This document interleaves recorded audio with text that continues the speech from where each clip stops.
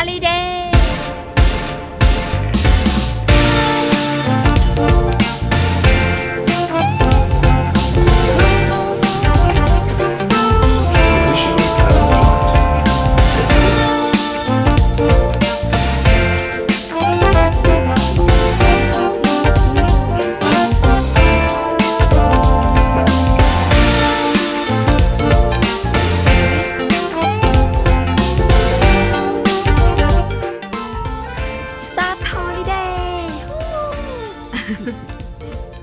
ปกตินะคะถ้าเกิดเรานั่งอีโคโนมีธรรมดานะคะ เราก็จะไม่ได้เข้ามาใช้บริการในเราแบบนี้นะคะ แต่ด้วยที่สามีเขาเป็นอ่าสมาชิกนะคะ มีบัตรแล้วก็แต้มสะสมนะคะอ่าเขาถือบัตรโกลนะคะ ก็เลยสามารถเข้ามาใช้บริการในเราได้ค่ะ อุ้ย sorry ฮอ l ิเดย์เริ่มแล้วนะคะทุกคนเราสรุปเราไม่ได้อัปเกรดนะคะ ก็นั่งอีโคไปค่ะ ในรอบหลายปีมากที่ไม่ได้นั่งอีโคเดี๋ยววันนี้เราจะมารีวิวeconomy กันนะคะ ทุกคนว่า เป็นจังใดนะคะทุกคนตามไปดูกันเลยค่ะ Bitte. thank you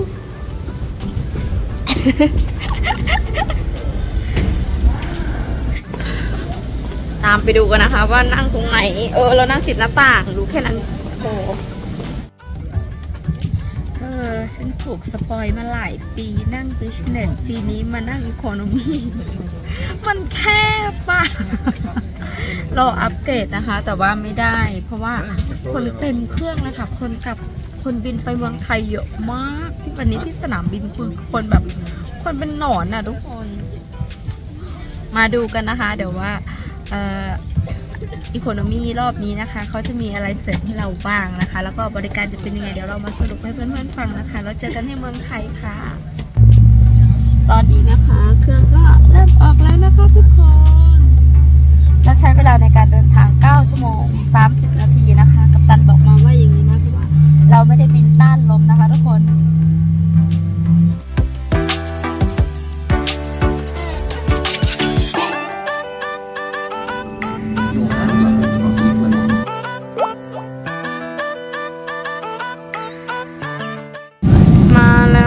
แล้วนะคะดินเนอร์ของเรา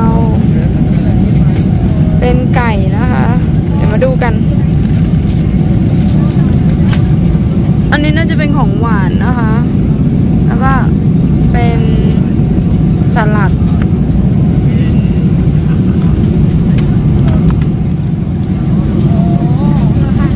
อันนี้นะคะ ก็จะเป็น ช้อนของหวาน มีด อันนี้เป็นไก่กับแมชโปเตโต้นะคะ แล้วก็เป็นสลัด เดี๋ยวเรามาชิมก่อนว่าเป็นสลัดอะไร สลัดข้าวนะคะทุกคน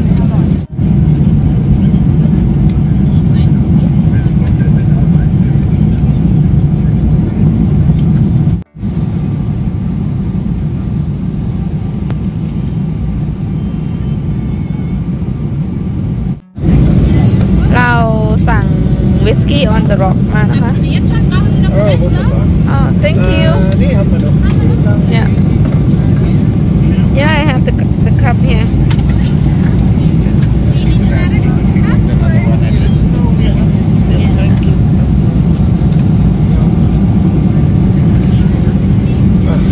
Oh.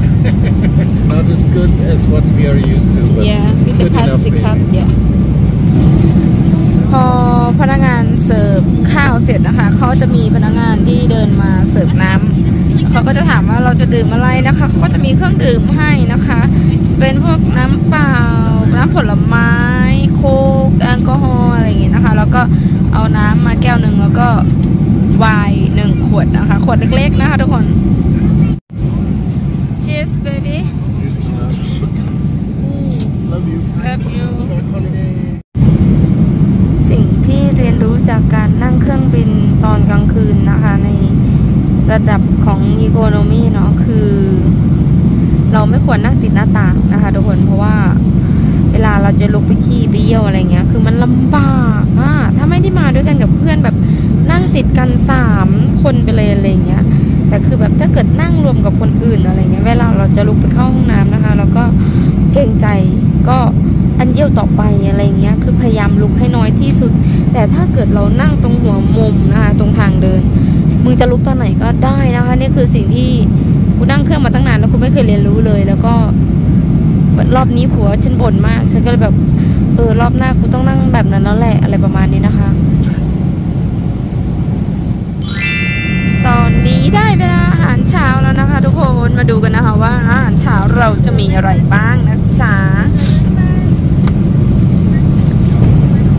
อาหารเช้าวันนี้นะคะก็จะมีอ่าเป็นสลัดผลไม้นะคะ ทุกคนโยเกิร์ตนะคะ ขนมปัง แล้วก็เป็นสแกมเบอร์เอกกับผักโขม แล้วก็ตัวนี้เป็นมันฝรั่งนะคะ ก็ สรุปการเดินทางของทริปนี้นะคะ กับ Swiss Economy Class นะคะ ก็จะบอกว่าพนักงานบริการน่ารักทุกคนเลยนะคะ แล้วก็อาอาหารอร่อยนะคะ ก็ตามสไตล์ Economy ไปเนาะแล้วก็อย่างที่บอกนะคะสิ่งที่เรียนรู้จากการ